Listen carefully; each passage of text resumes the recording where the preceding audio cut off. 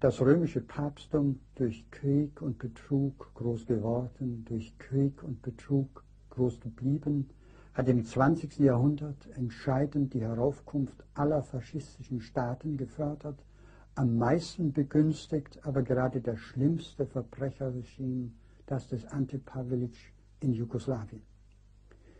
Dieser ehemalige Rechtsanwalt aus Zagreb, der in den 30er Jahren meist in Italien seine Banden drillte, ließ 1934 in Marseille König Alexander von Jugoslawien ermorden, wobei auch der französische Außenminister fiel, feierte zwei Jahre später in einer Denkschrift Hitler als Deutschlands größten und besten Sohn und kehrte 1941 von Mussolini mit Waffen und Geld ausgerüstet beim deutschen Einmarsch in Jugoslawien dorthin zurück.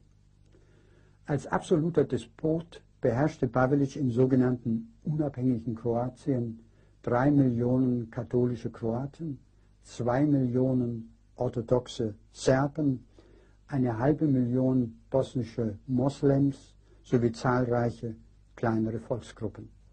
Im Mai trat er fast die Hälfte des Landes in aller Form an seine Angrenzer, besonders an Italien, ab und wurde dort, wiewohl wegen des Doppelmordes von Marseille, von Jugoslawien und Frankreich zweimal in Abwesenheit zum Tod verurteilt, in besonders feierlicher Audienz von Pius XII. empfangen und gesegnet.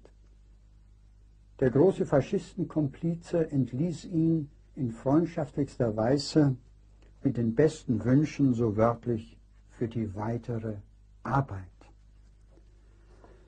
Darauf begann ein katholischer Kreuzzug, der den schlimmsten mittelalterlichen Massakern nicht nachsteht, sie eher übertrifft. 299 serbisch-orthodoxe Kirchen wurden nun im unabhängigen Kroatien ausgeraubt, vernichtet, viele auch zu Warenhäusern gemacht, öffentlichen Toiletten zu Stellen. 240.000 orthodoxe Serben hat man zum Katholizismus zwangsbekehrt und ungefähr eine Dreiviertelmillion orthodoxe Serben ermordet. Man erschoss sie massenweise, erschlug sie mit Äxten, warf sie in Flüsse, in Abgründe, ins Meer. Man massakrierte sie in sogenannten Gotteshäusern, 2000 Menschen in der Kirche von Glina. Man fand dort später aufgespießte Kinder mit noch vor Schmerz gekrümmten Gliedern. Man folterte die Serben, bevorzugt bei nächtlichen Orgien, schnitt ihnen die Kehle durch, man pfählte, vierteilte sie, hing gelegentlich ihr Fleisch in Metzgerläden. Man stach ihnen lebend die Augen aus, schnitt ihnen lebend die Nasen, die Ohren ab, man begrub sie lebendig, man erwürgte, köpfte, kreuzigte sie. Die Italiener fotografierten einen Mordbuben des Pavelic, der um seinen Hals zwei Ketten aus menschlichen Zungen und Augen trug. Auch fünf Bischöfe und mindestens 300 Priester der Serben hat man geschlachtet, zum Teil auf fürchterliche Weise, wie den Bogen Branko Dobrosavljevic, dem man Haar und Bart ausriss, die Haut abzog, die Augen heraussäbelte, während man seinen kleinen Sohn vor ihm buchstäblich in Stücke schnitt. Der 80-jährige Metropolit von Sarajevo, Petar Simovic, wurde erwürgt, indes der katholische Erzbischof der Stadt Oden zu Ehren des Pavelic, des angebeteten Führers, schrieb und in seinem Diözesanblatt die revolutionären Methoden wörtlich zum Dienst der Wahrheit der Gerechtigkeit und der Ehre pries. Dem 81-jährigen Bischof Platow aus Banja Luka beschlug man die Füße wie einem Pferd, verstümmelte entsetzlich seinen Kopf und setzte seine Brust in Flammen. In Zagreb, wo der katholische Primas Stepinac und der päpstliche Legat Marcone residierten, folterte man den orthodoxen Metropoliten Dosidei, dass er wahnsinnig wurde. Die katholischen Schlachtfeste in Großkroatien waren so grauenhaft, dass sie selbst italienischen Faschisten schockierten, dass sogar hohe deutsche Stellen protestierten, Diplomaten, Generäle, noch der Sicherheitsdienst der SS und Nazi-Außenminister von Ribbentrop. Ja, wiederholt griffen, provoziert durch die Abschlachtung der Serben, deutsche Truppen gegen die eigenen kroatischen Verbündeten ein. Und dieses Regime, Wahrzeichen und Kampfmittel, Bibel und Bombe nebeneinander, war von seiner ersten bis zu seiner letzten Stunde ein durch und durch katholisches Regime und engstens mit der römisch-katholischen Kirche verbunden. Sein Diktator Ante Pavelic, ebenso ins Führerhauptquartier und auf Hitlers Berghof reisend wie in den Vatikan, wurde vom kroatischen Primas Stepinac ein ergebener Katholik, von Papst Pius XII. noch 1943 ein praktizierender Katholik genannt. Auf hunderten von Fotos erscheint er zwischen Bischöfen, Priestern, Mönchen, Nonnen. Ein Geistlicher erzog seine Kinder, er hatte einen eigenen Beichtvater und in seinem Palast eine eigene Kapelle. Zahlreiche Kleriker gehörten seiner Partei an, den Ustaschen, die ständig die Worte Gott, Religion, Papst, Kirche im Mund führten. Bischöfe und Priester saßen im Ustascher Parlament, Geistliche dienten als Offiziere in Babelitsch Leibwache.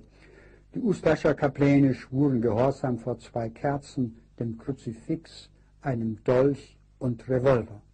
Jesuiten, mehr noch Franziskaner, führten bewaffnete Mordbanden an, organisierten Massaker nieder mit den Serben. Sie erklärten die Zeit gekommen für den Revolver und das Gewehr, erklärten es sei keine Sünde mehr, ein siebenjähriges Kind zu töten, wenn es gegen die Gesetzgebung der Ustaschen verstößt. Alle Serben in möglichst kurzer Zeit zu töten, das nannte der Franziskaner Schimitsch, ein Militärvikar der Ustaschen, wiederholt unser Programm. Franziskaner waren auch Henker in Konzentrationslagern. Sie schossen im unabhängigen Kroatien nur so aus dem Boden in diesem christlichen und katholischen Staat, dem Kroatien Gottes und Marias, dem Königtum Christi, wie die katholische Presse des Landes jubelte, die auch Adolf Hitler als Kreuzfahrer Gottes pries. Das Konzentrationslager Jasenovac hatte zeitweise den Franziskaner Filipovic Majstorovic zum Kommandanten, der in vier Monaten dort 40.000 Menschen liquidieren ließ. Der Franziskaner-Stipendiat Pritzitzer hat dort in einer Nacht am 29. August 1942 1360 Menschen mit einem Spezialmesser geköpft. Nicht zufällig dankte der Primas des katholischen Gangsterparadieses, Erzbischof Stepinac, als er im Mai 1943 im Vatikan die Verdienste der Ustascher betonte, dem kroatischen Klerus, vor allem den Franziskanern.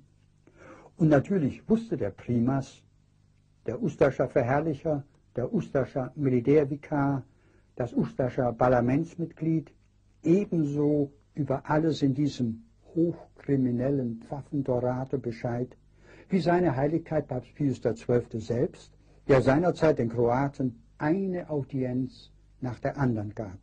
Ustascher Ministern, Ustascher Generälen, Ustascher Diplomaten. Und der Ende 1942 der Ustascher Jugend zurief, an deren Uniform das große U mit der darin explodierenden Bombe prangte, es leben die Kroaten. Die Serben starben damals, etwa 750.000, um es zu wiederholen, oft nach grässlichen Torturen 10 bis 15 Prozent der Bevölkerung Großkroatiens. Das Ganze von mir in dem Robol-Titel Die Politik der Päpste im 20. Jahrhundert ausführlich dokumentiert und belegt. Und ohne Kenntnis dieses albtraumhaften Blutbads kann man die Vorgänge dort heute überhaupt nicht verstehen. Vorgänge, an denen sogar der Außenminister der uns doch befreundeten USA den Deutschen, das heißt der Regierung Kohl-Genscher, eine besondere Schuld beimaß. Mehr involviert ist nur der Vatikan, der schon seinerzeit durch Papst Pius XII. nicht bloß darin, sondern in die ungeheuersten Gräuel der faschistischen Ära insgesamt derart verstrickt war, dass es, so schrieb ich vor nun bereits fast 30 Jahren, bei der Taktik der römischen Kirche nicht verwunderlich wäre, spräche man ihn heilig. Wie auch immer, der Vatikan hat sämtliche faschistischen Regime der 20er, 30er, 40er Jahre maßgeblich mit etabliert. Er hat samt seinen Bischöfen alle faschistischen Staaten von ihren Anfängen an systematisch unterstützt. Er war der entschiedene Förderer von Mussolini, Hitler, Franco, Pavelic und somit wurde die römisch-katholische Kirche auch entscheidend mitschuldig am Tod von etwa 60 Millionen Menschen, nicht zuletzt am Tod auch von Millionen Katholiken. Nicht irgendein mittelalterliches, sondern das 20. Jahrhundert ist zumindest quantitativ gesehen das kriminellste der Kirchengeschichte.